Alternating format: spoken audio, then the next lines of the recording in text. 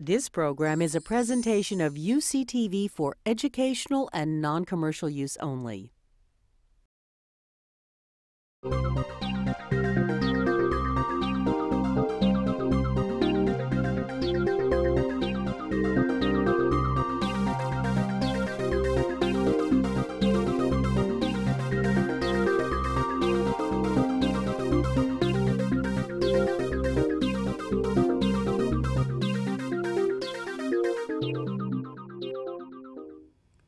Welcome to A Conversation with History. I'm Harry Kreisler of the Institute of International Studies.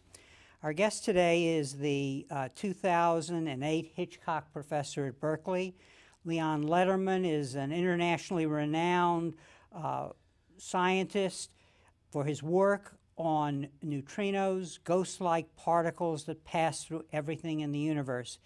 Among his many honors are the Wolf Prize in Physics in 1982 and in 1988, along with Melville, Melvin Schwartz and Jack Steinberger, he won the Nobel Prize in Physics for his discovery of the muon neutrino, proving there are at least two families of neutrinos.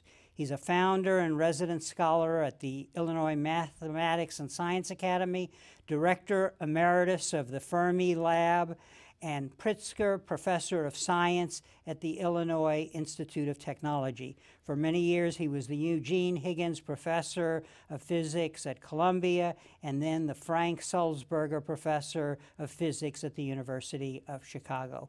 Uh, Professor Lederman, welcome to Berkeley. Thank you. Where were you born and raised? New York City. And looking back, how do you think your parents shaped your thinking about the world? Oh, that's an interesting question. Uh, um, well, fundamentally, I think they had a big role in this because they were hardworking, uh, they were free thinkers. Uh, my father uh, varied in his political leanings depending on who was doing what and who was saying what. So he would, he wasn't rigid in all of this, and uh, uh, both of them were intensely uh, interested in education, especially my education. Uh, we lived uh, within uh, about two or three hundred yards from a high school. I remember asking my parents about uh, the possibility. At that time, Bronx High School of Science, famous school, didn't exist. But there was uh, the best high school in New York City was Stuyvesant. It's still a great high school and I asked my mother about the possibility of my going to Stuyvesant. And her answer was, Can you walk to Stuyvesant? And I said, Oh, no, you have to take a subway. Mm-hmm. She says, Well, you can walk to this high school we live near. We moved here so that you can walk to high school. It's James Monroe High School, and that's where you're going, and that's where I went. Mm-hmm. So uh, it, it, was a, an exciting time to be in New York City and then the, the important role that, that science was playing as a result of World War II and after. I, am very curious about how you were drawn in as a high school kid, uh, a young person, into the culture of, of science, basically. So, what, what, were the formative early experiences that got you well, interested? Were, it was a classes. The classes were uh, taught by extremely competent teachers. And uh, that that was the drawing feature. Is that uh, I took uh, first I was fascinated by chemistry and drawn into that, and there was a young man who was. Uh, working his way through night school, but he worked in the laboratory with glassware and taught me how to blow glass and uh, shape the various uh, devices that you need to make in order to filter and precipitate various things. So I was charmed by the chemistry initially and the teaching of chemistry by the by the high school teacher, and then uh, a little bit later, uh, physics. And uh, when I was uh, absolutely overwhelmed by the by the lectures we had in physics. Uh, this is in high school now, or you are all in, in high, high school. school? Yeah, yeah, and. Um, so that the, the, the high school experience was first rate, and you know there was also writing uh, exercises and creative writing. Mm-hmm. I remember uh, going into a class of creative writers, and uh, where the teacher would tell us uh, how to, f- you know, organize words and expressions into something which is a little different from uh, standard uh, expressions. All of so I had a good education, and uh, our fellow students were part of that education. You know, we talked to each other about the schoolwork very often, and uh, argued politics and things like that. What was the, the, the attitude toward science at that time better than it is today? Uh, and therefore, it, it, it, there, there was a heroic quality to being a scientist? I'm not sure we could have defined attitude. Yeah. really, uh, it was one of the subjects, and it, we didn't have a, a yes or a no opinion. Science was um, interesting, sometimes uh, difficult, sometimes too easy. Uh, we took it as it was given to us. We were not aware of the of the crucial role that science played in society. I mean, the, in in school at that time, and unfortunately, too often today, uh, you spent most of your time on the content of science, but not on the the significance of it, the process of science, who becomes a scientist. We didn't think of ourselves as becoming scientists. We were interested in science because it was uh, the laboratory work was fascinating, and every once in a while something would go kaboom, and that was exciting. Were you a tinkerer? Did you like to do Yes, experiments? Yeah. Yes, actually, I had an older brother who later turned out to be a high school dropout, but he was he had magic hands. He could do things with his hands. He could make things, and my greatest joy was in watching him. And so, when it came to the uh, household chores, I would do mine and I would do his.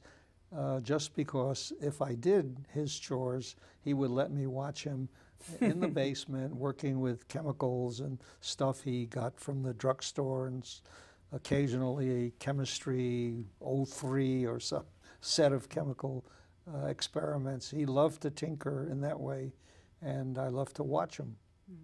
Where did you do your undergraduate work, and then where, where do you, uh, what year was that? Well, I started, uh, let's see, uh, City College of New York, and uh, in 39, graduated in 43. So that was my four years of City College.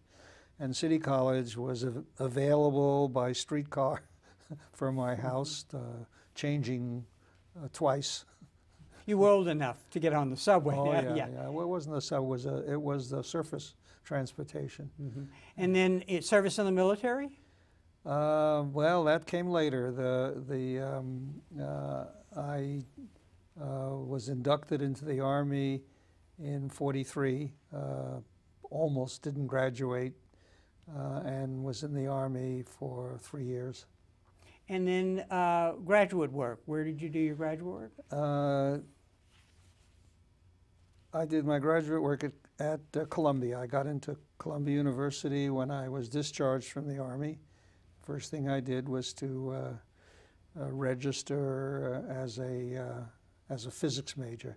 I had uh, switched interest from chemistry to physics somewhere in the in the interim. I thought uh, uh, physics was more challenging and, in fact, in many ways simpler than chemistry. It didn't have the smells, and it didn't have the, the tribulations of uh, sweeping up the materials you dropped on the floor and getting the wrong answer on the analysis of what mysterious stuff was there. But physics uh, was was a challenge, and, and that was when I really uh, thought about uh, a career in science. And uh, uh, in graduate school, who, who any particular professors who mentored you or became your, and, and who became your, your dissertation advisor and so on? Um, well, let's see. Um, the the physics department at Columbia was chaired by Isidor Isaac Rabi, one of the founders of American physics. Uh, he on the East Coast and Robert Oppenheimer on the West Coast really started uh, the American schools of physics, and they were helped by lots of immigration. And in fact, at uh, Columbia. Um, uh, Rabi had invited um, a particular, rather uh, well-known cosmic ray expert by the name of Gilberto Bernardini. And uh, so I tell a lot of stories about Gilberto because uh, he came from Italy with a rather uh, severe wartime experience, and we got to know each other. And uh, his uh, command of English was limited, uh, but enough. And uh, we got to be uh, uh, very friendly, and I think he was a, a, a, a major element in my education because he'd been an experienced cosmic ray scientist and uh, knew the knew how to do research and and but he was also different. He was uh, so different from the Anglo-Saxon professors I had. Uh, he uh, he was um, uh, passionate and excitable, and uh, the thing he taught me that I think was uh, most most important was the his sense of wonder. You know, he'd walk into a room and push the light button, the lights would go on. He'd say, "Fantastico!" That's Italian. It means fantastic. and uh, then he would turn the lights off and turn them on again, turn them off, turn them on again. He was amazed by simple things. I, you know, if you asked him how did it happen, he, well, he would say behind the switch, there's a contact, and the contact closes a circuit, and somewhere 100 miles away, water is falling on a wheel and turning and making the electricity. He would know all that, but for him, the idea that this is a button on the wall and you push it and the lights go on was a miracle. And he So- never tired of being uh, awed by simple things. And, and that's really something that you picked up. And I guess uh, th- th- that's an important ingredient in being a scientist, uh, uh, maintaining that. I think it's it, it's crucial. I mean, this sense of wonder and the sense of understanding something after working at it a long time, or the sense of discovering how something works when, when you first look at it, it's total mystery. Uh, you know, you can make a, a discovery as a scientist, uh, uh, uh, an important discovery once in a lifetime, maybe two or three times if you're very, very fortunate and very clever. But um, the daily uh, process of doing science has to bring you some satisfaction too. You just can't wait for the discovery and wait for, for the fame and so on. Uh, you have to enjoy the day-to-day activities in some sense, and that's what I learned from Bernardini. And, and let, us uh, uh, explore that some more. I, I, I, an important component in, in, in, in the culture and the attitudes of a scientist is really being very curious, wanting to know what is this made of, how does it work? Well, you know, there's a list of uh, a list of um, qualities that go into science, and one of them is curiosity. Another one is open-mindedness, but as somebody wisecracked, not so open that your brain falls out. yeah. Uh, and and then and then the the pursuit of uh, answers to questions. If you're curious, you want to know why this happened.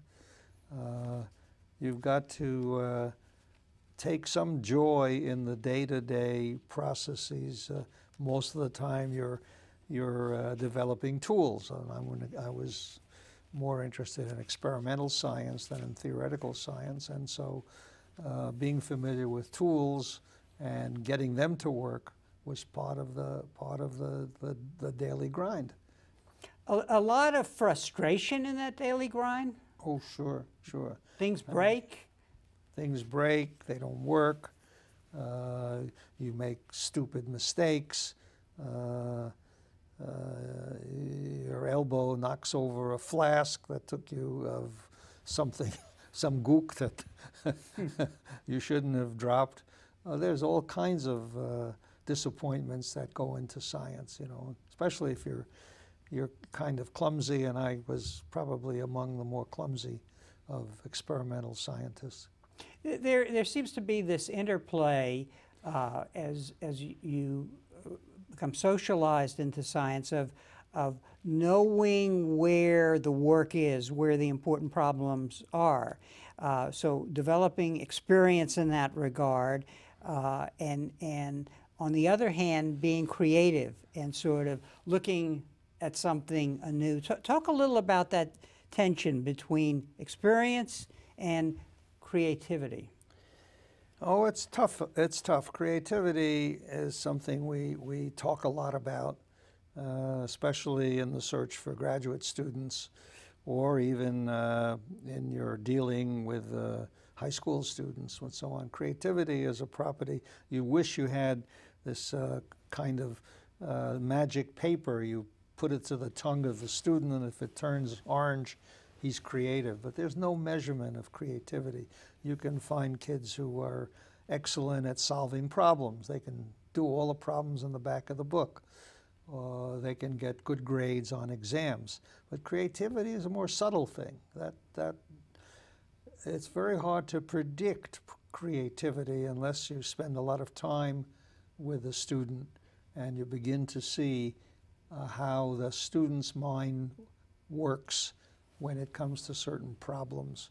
And when the student says something that you don't understand, and little by little, you grasp what the student is getting at, and even though his articulation may be poor, you suddenly see he is thinking. He's got an idea, and he, he or she may be creative.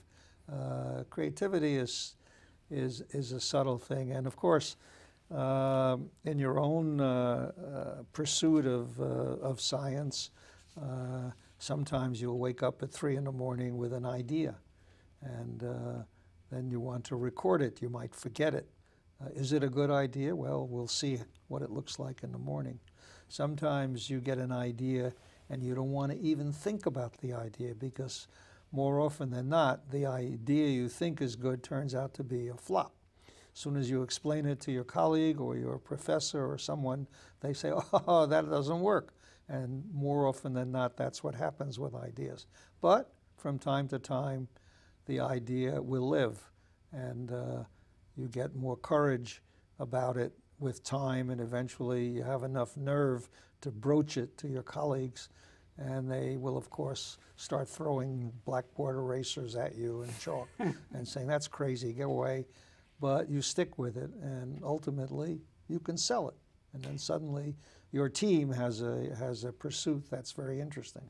And and so so what I'm hearing you say is a is a also another tension between self-confidence and arrogance and being comfortable with your own ideas, running with them, but then on the other hand, working with teams to move the idea forward. That's that's uh, that's crucial. I mean, in this, uh, in especially in experimental science, where you you really have to work with people.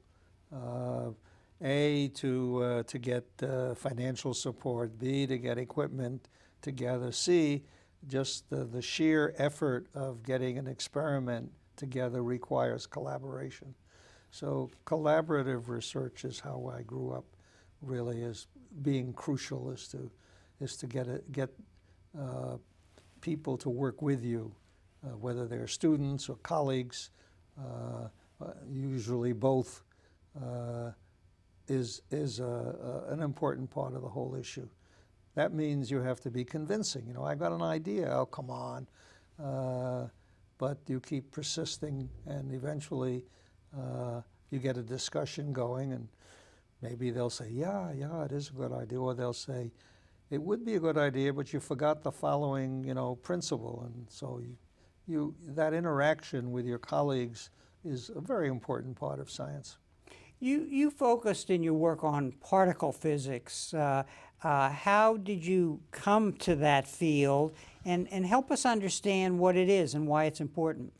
Well, I must say that uh, uh, we're now talking 1950, and particle physics was a new subject in some sense. And uh, we didn't know we were breaking in a new subject, but we were working with the properties uh, of, uh, of matter. You know, you, uh, you look at a uh, piece of wood and then you, you can splinter it and you begin to realize the chemical composition, and then you go beyond the chemical composition of the material into detailed properties. We were, uh, we were in a field in which um, uh, the atom was an old story. Uh, atomic physics was thriving, but we knew the properties of atoms. But there were other things that happened uh, that had to do with um, production of energy and mostly in machines. Uh, so there were uh, particle accelerators. We had a, a Columbia, uh, thanks to the efforts of uh, Rabi, uh, built what at that time was one of the world's most powerful. The newspapers call it an atom smasher. We keep saying we don't smash atoms. we love atoms, but this was this was a, a way of generating a lot of energy in a small space, and because of that energy, particles would appear via Einstein's famous equation E, e equals mc squared. Energy and mass were connected. And by producing a lot of energy with this machine, we could create new masses and study those masses and begin to get a, a, uh, a vision and an understanding of the microstructure of matter. In other words, what's inside is the, the key thing. So, uh, what's inside uh, the atom? Well, there's a nucleus. And then there are electrons on the outside. What's inside the nucleus? Well, there are protons and neutrons. And we continue that process. It was called reductionist, if you like. We wanted to reduce the properties of matter to their simplest uh, forms and then see how these simple forms combine to make the more complicated things, which we recognize as, uh, you know, quantitative matter. And, uh, and uh, again, it's a combination of of energy and imagination, sprinkled, sprinkled with a little bit of good luck, and all of a sudden you found a particle that nobody knew existed. And, and ultimately, this, this really moves into cosmology to, to, to answer questions about how, how it all came into being. Well, that's a good, that's a good statement because, in fact, today uh, we have a new subject. It's called particle astrophysics. The, it turns out that uh, our study of uh, the structure of matter turned out to be crucial to the uh, larger picture of the structure of the universe. You know, the uh, planets we knew about because we live on one, and so we were experienced. But then there were galaxies and of, of millions of, uh, of suns, each sun having a, its share of, of, uh, of planets around them, and so the two subjects, uh, in fact, turned out to be very closely related. And when I became director of Fermilab, the first thing I did was to uh, create a group of astrophysicists, even though the lab itself hmm. uh, uh, was the repository of one of the largest accelerators in the world. And that accelerator is like a big microscope, so you can look at the small. But at the same time, we knew that uh, if you're going to try to understand the cosmos, you have to have a good knowledge of, of the fundamental structure. So particles in cosmology became uh, a unified uh, quest. Very exciting and still is. Uh, help us understand what you and your colleagues got the Nobel Prize for. Uh, can you, uh, if I sit here and introduce you and say that you did important work with neutrinos, you know, people out there are scratching their head and so on. Well, so, it's a it's a bit of a story, but um, uh, one of the uh, we knew we you know cataloged the various particles, and an electron was an important particle. It had an electric charge. Uh, it had a certain mass.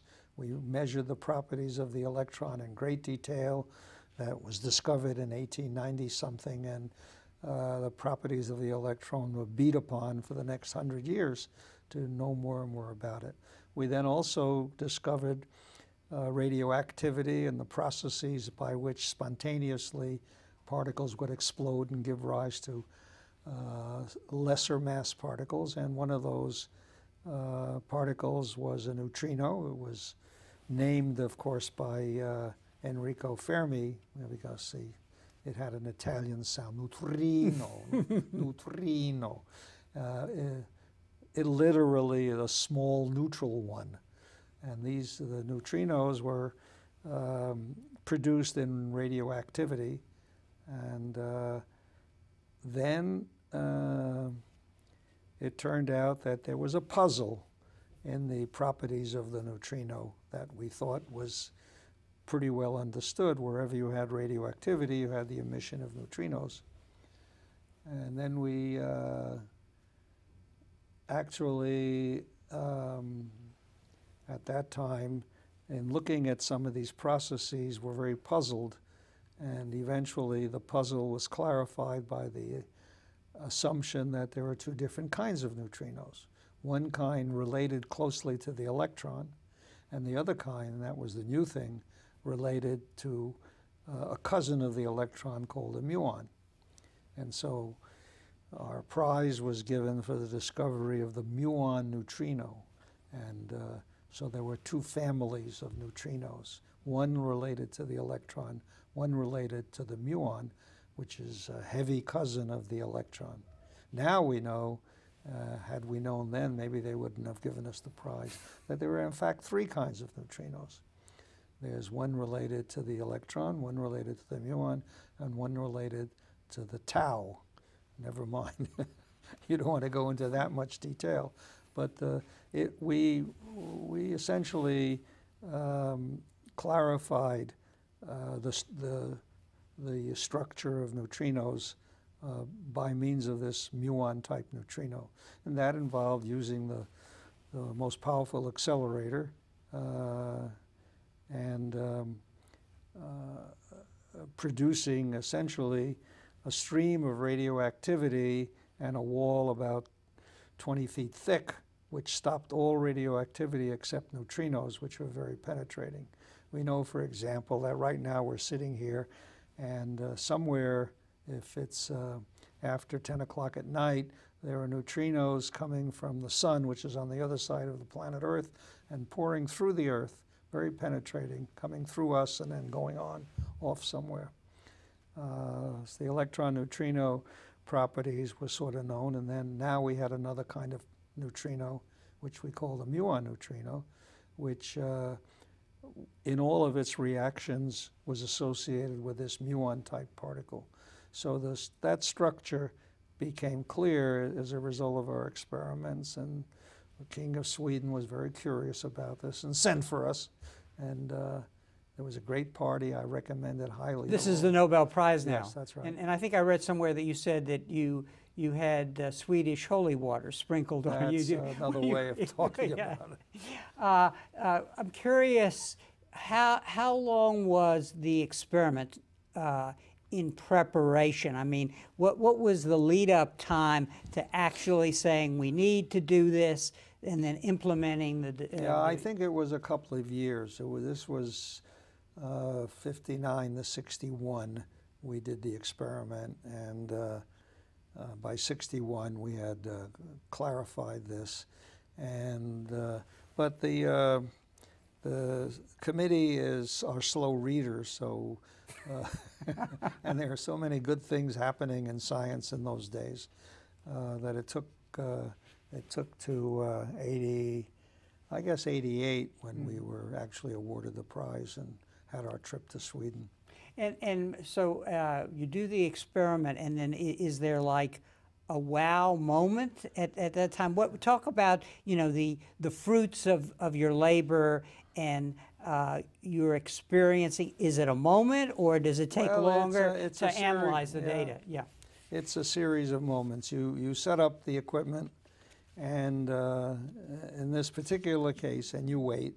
And I remember once about that usually happens at three in the morning or something like that. You're watching the apparatus, and suddenly the apparatus is telling you something happened, and you look at the data, and you see that. Uh, uh, uh, uh, a particle uh, appears and uh, makes a, a collision, and out of that collision comes some energy, and the energy goes a certain distance and then stops. And when you analyze that, the only thing it could be is a neutrino type particle, which disintegrated and gave rise to a muon rather than an electron. So this was, whereas all the neutrinos before this were related to electrons, Hmm. we had succeeded in making a stream of different kinds of neutrinos which were related to the muon.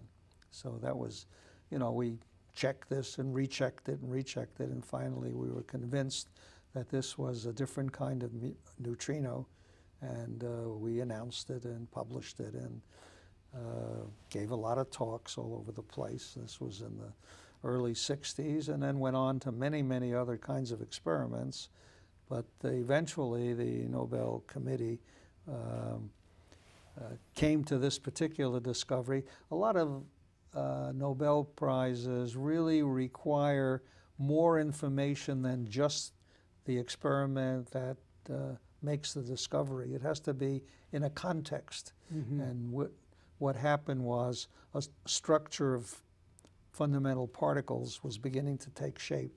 And knowing the, the existence of a muon neutrino was crucial to building that structure. Mhm. And so that's when the, the prize was awarded. And, and so that, that it's, it's, it's in part, it's not just the recognition of the Nobel, but it's the, the recognition over time of the fellow scientists of what you have done. That's right. It was, it was, it fit into a pattern, and the pattern became uh, clarified by that experiment, as you know. So, Now, now, eh, being able to do this obviously required these accelerators, which in a way were uh, a major investment by the government, presumably, and also uh, by Columbia University. So, so talk a little about that because uh, in this recent period there has been a decline of that commitment uh, to funding big science, uh, but that was not the case when,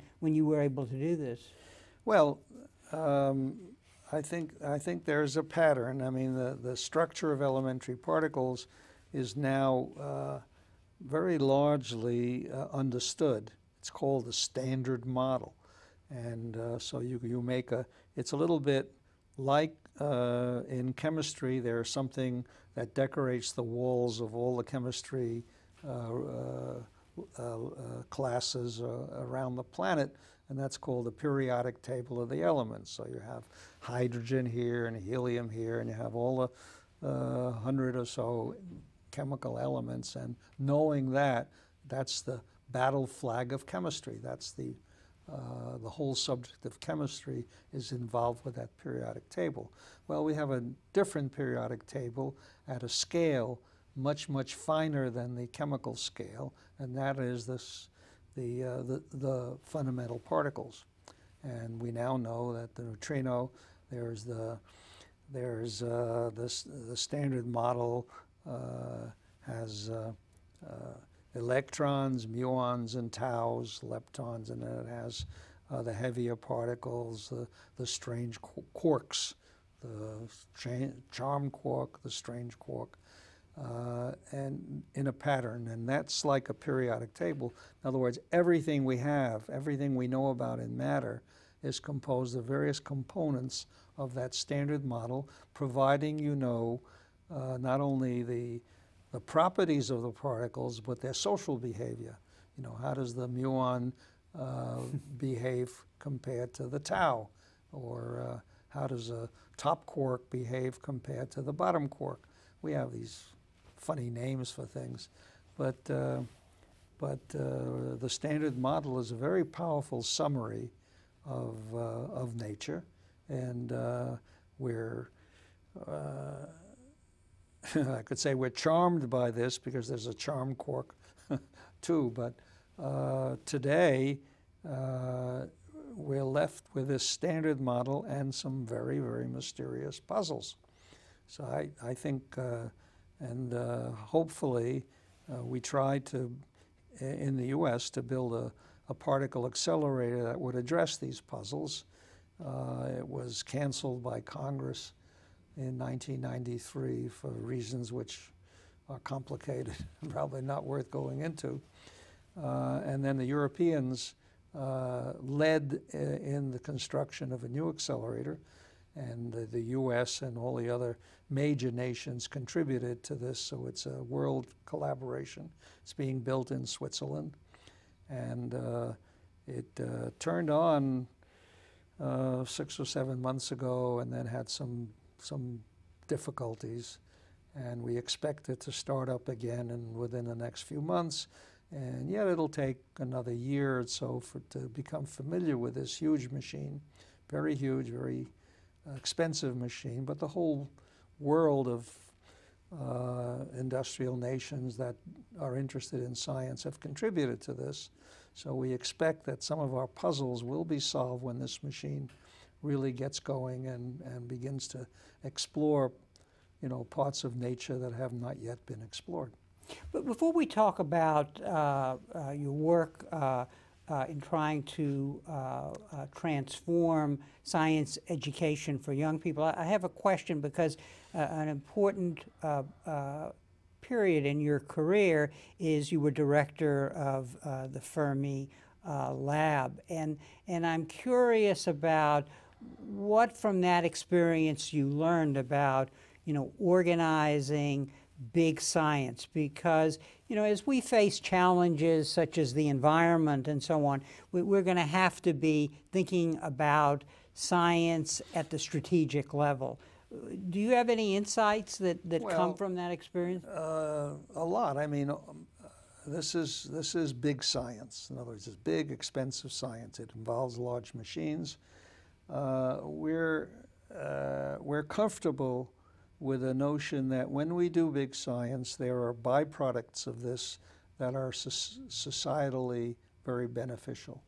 And so there are many, many examples where the uh, quest for understanding uh, in an abstract way gives rise to very useful uh, offshoots or, and uh, um, and a, a, broadening of our deep knowledge of things which have to do with health, almost anything you want to do with human activity. So we're, we're confident that, that research pays in some sense, even though it may sound to be very abstract. Uh, yet, uh, today, if you uh, uh got up on a platform and said, uh, you know, we really have to build some XYZ machine, uh, you would probably be ushered out because this is a, a time of economic chaos and environmental catastrophe and all kinds of problems we have, healthcare, uh, many, many issues that the, our government is facing that uh, require a lot of attention. Uh, nevertheless, in spite of that, uh, many of us feel that ultimately uh, both science and education are essential features in getting out of this problem. Because if you make a list of all of the problems uh, that our president is facing and that our Congress is facing, and make a list, uh, you begin to see that addressing those problems is going to require scientific knowledge, scientific wisdom, engineering uh, wisdom, uh, and, uh, and uh, understanding. Uh, so we, we can't give up on our uh, quest for understanding of how nature works and, uh, and the, the process of, of understanding the world. And, and, today there are some mysteries that come from the thing you raised earlier, co the cosmology.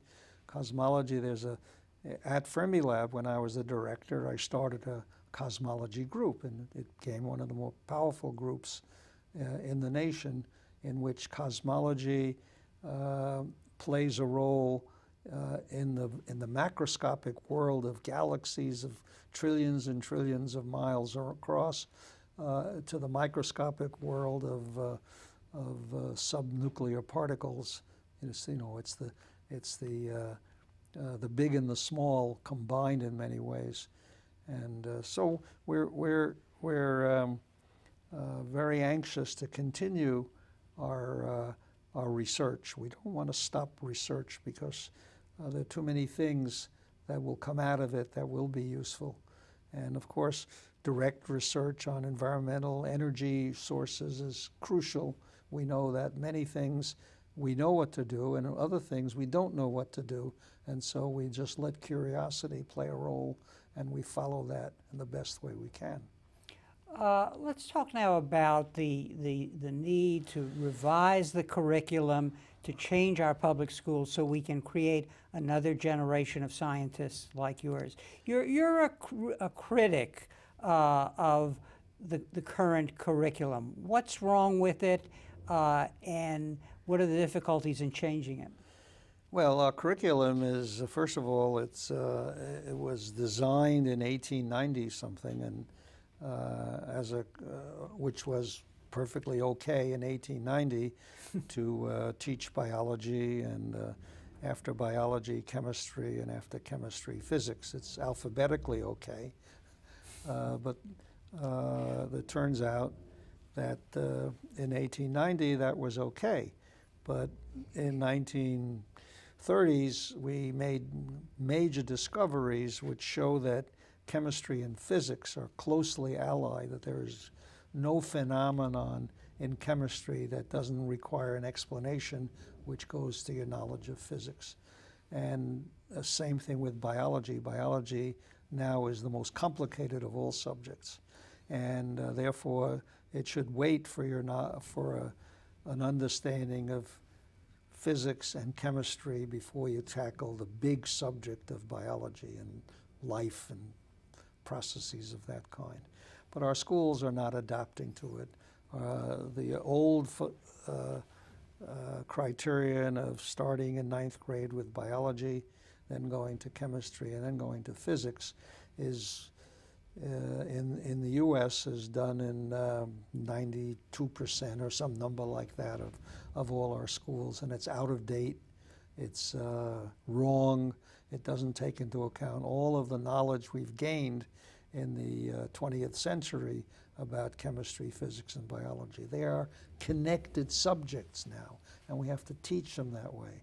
Our schools are failing to produce, uh, not only failing to produce the kind of quality and number of, of dedicated scientists. To me, I'm more worried about the ignorance of the general public. What we need is public science literacy. We need the public to have some grasp, not to be scientists, but to have a grasp of how science works, because they're going to vote, they're going to elect, uh, they're going to, uh, the government is going to seek their approval for lots of things.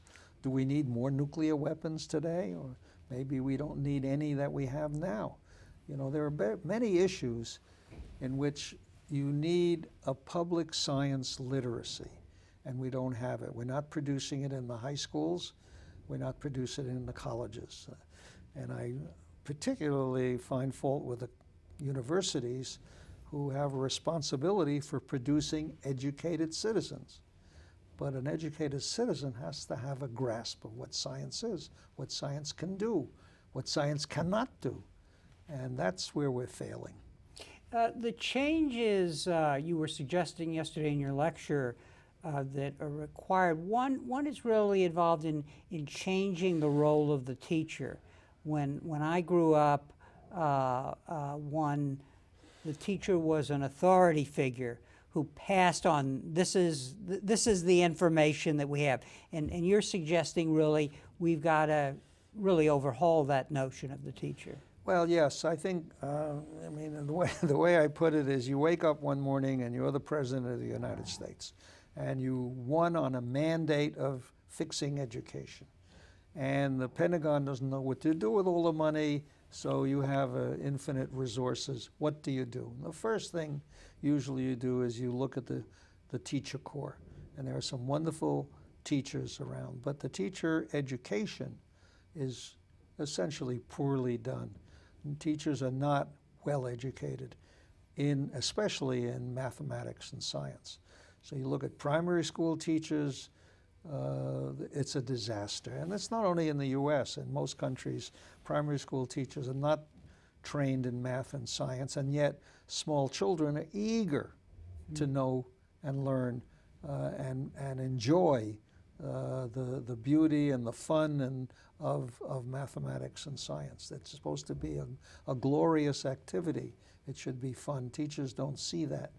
They're not trained well enough, especially primary school teachers. So teacher education becomes a major thing. And teacher, it's not only uh, the pay of teachers which is inadequate, but it's the social status of teachers which is inadequate. So we have to pay attention to, to respect of teachers. You know, in Germany, I think a, a, a kindergarten teaches a Frau Professor.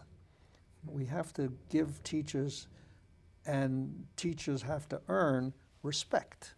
And uh, that doesn't happen. I've seen often I'd sit in a classroom after discussing something with a teacher, and just as she erases the blackboard, out comes a loudspeaker saying, All teachers hand in their, their attendance summary.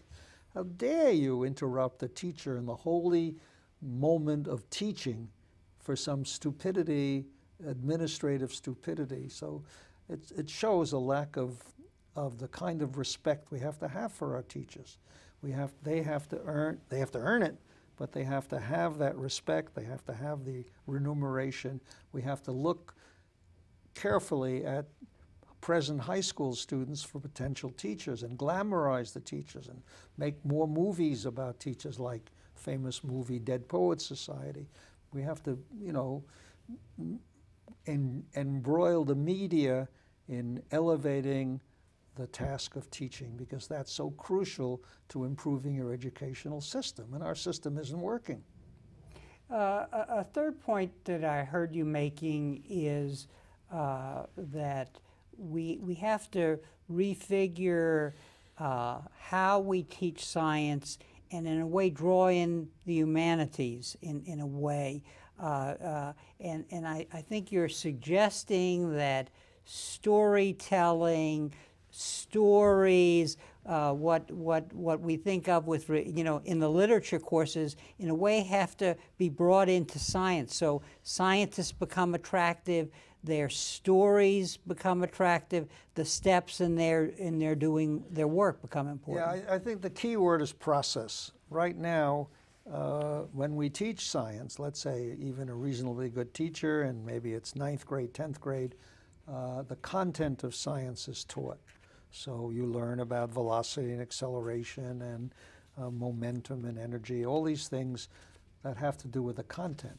But there's another aspect to science, and that's even more important if we're thinking not about future scientists as much as by uh, future citizens, future family members who have to make decisions, future voters who have to make decisions.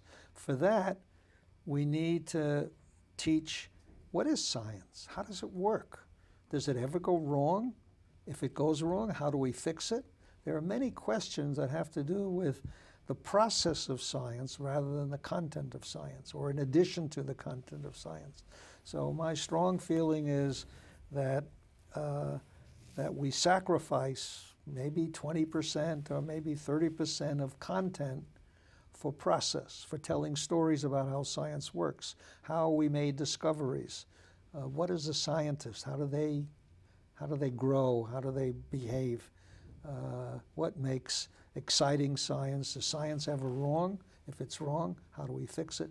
Many, many issues that have to do with, with the process of science is part of being educated. So I'm shocked when col college presidents uh, decide that the science requirement for this college will be a semester of what they call rocks for jocks or some mm-hmm. uh, other you know non-serious way. I actually believe that um, University of Chicago, which is probably more advanced than most, requires two full years of science for all its graduates. You don't graduate from the University of Chicago without two full years of science, one in biological sciences, the other in physical sciences with laboratory. And even that may not be enough to produce what you would call an educated citizen who can participate in many decisions. Now, again, if you go back and look at all the problems poor Mr. Obama is mm -hmm. facing, all those problems have a science side. It's not that science can fix all the problems, but but the knowledge of science is crucial to uh, these environmental catastrophe we're facing, to to the uh, uh, even to the uh, failure of, e of our economy. And you look one after another at these problems, and they all they're not all fixed by science, but they are all have a, a role. Science has a role to play in repairing our society, and I think our education system is not up to it. That's what we have to do. We have to really begin to say that uh, that we need a total, not uh, reform, but transformation of of the way we teach.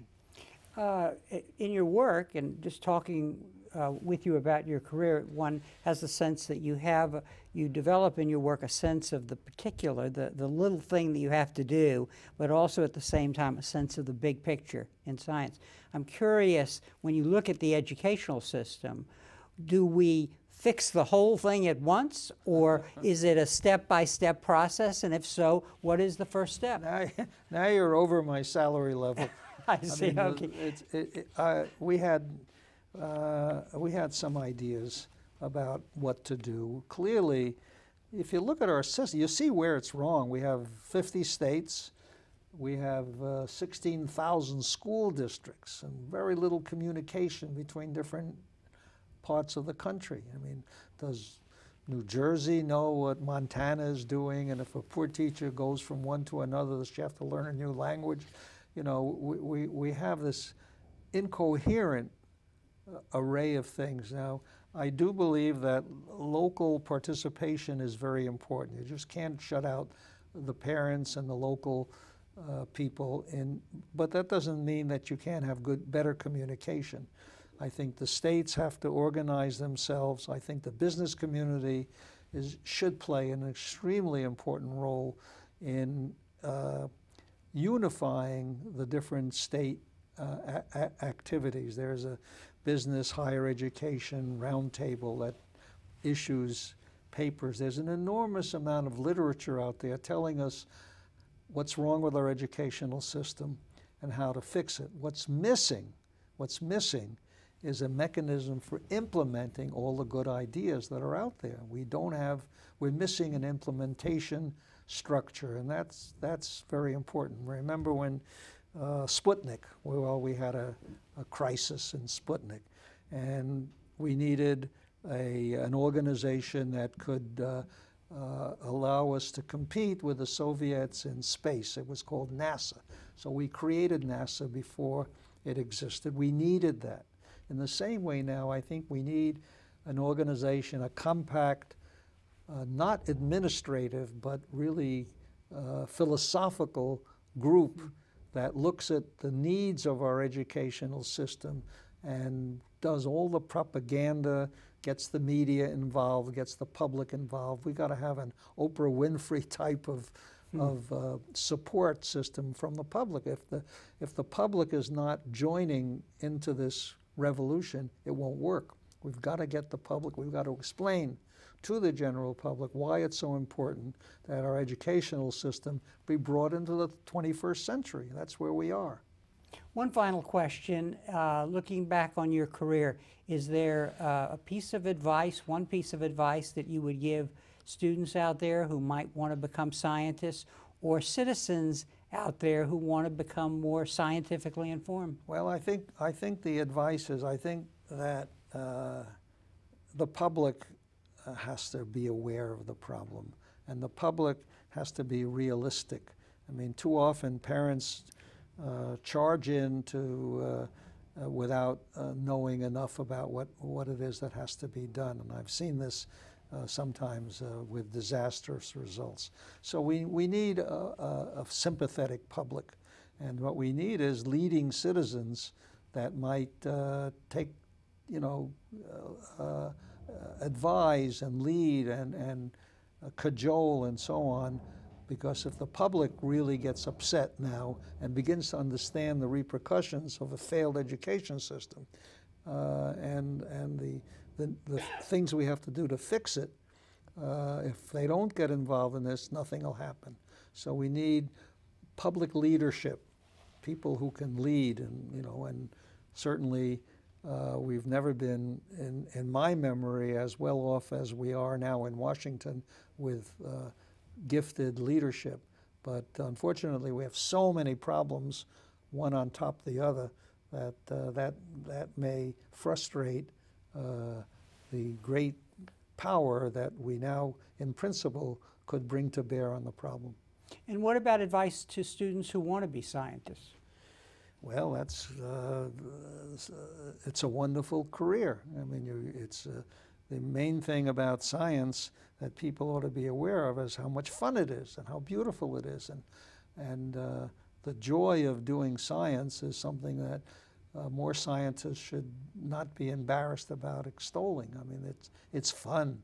It's uh, sometimes you're you're looking for somebody in a in a science building and there's noise and you suddenly realize there are three or four scientists. They're rolling on the floor laughing. Why are they laughing? Well, uh, they just worked for three years on some subject and they couldn't solve it, and all of a sudden they solved it, and the solution was so simple and so beautiful that they just burst into laughter.